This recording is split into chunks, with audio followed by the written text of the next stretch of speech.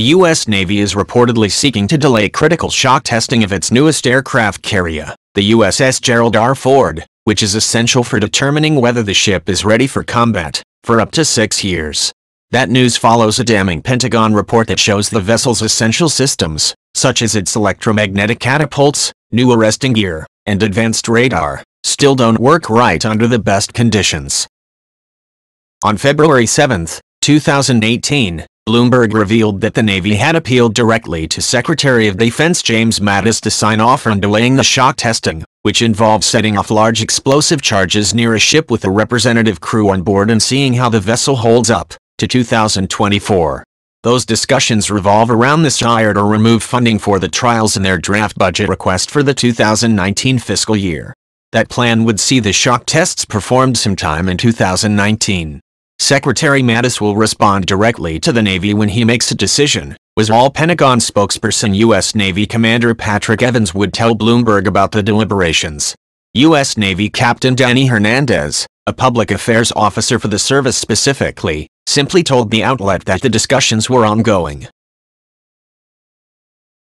The Navy's shock testing, or formerly the Full Ship Shock Trial, FSST, isn't supposed to harm the vessel or anyone on board, but rather to rattle everything to see if sensitive systems or other design features might be particularly vulnerable. If problems, or any actual damage or injuries, do occur it would be a pretty clear sign that there's still work to be done before sending the ship out for potentially real combat missions. Most notably, its Electromagnetic Aircraft Launch System, EMALS, Advanced Arresting Gear, AAG, Advanced Weapon Elevators, or, and Dual Band Radar, DBR, have already shown themselves to be finicky and unreliable just during relatively low-impact testing.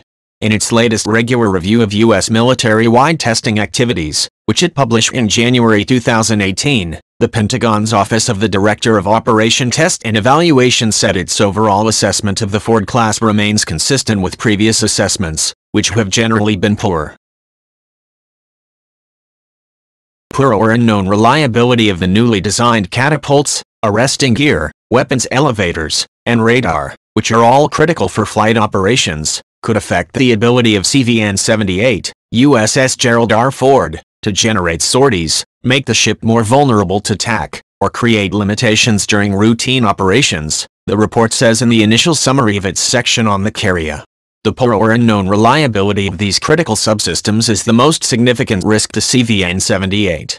Based on current reliability estimates, CVN-78 is unlikely to be able to conduct the type of high-intensity flight operations expected during wartime.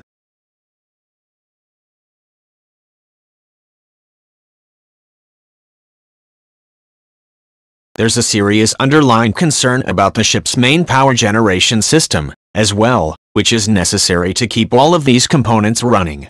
Before delivering Ford to the Navy, Newport News Shipbuilding reported a failure in a transformer attached to one of the ship's four main turbine generators. According to the Director of Operational Test and Evaluation, the Navy, not wanting to delay getting the ship any further, approved the use of an existing transformer design it already used for other applications as a substitute. It conducted no testing to determine if this component would work properly with the rest of the carrier's electrical systems.